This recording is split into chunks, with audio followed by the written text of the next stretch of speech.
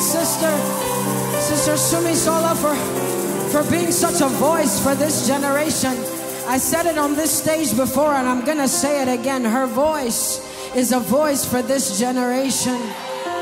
It's not a common voice, it's a voice that God has released for such a time as this. Come on, I want you to lift up your hands and just say, Hallelujah.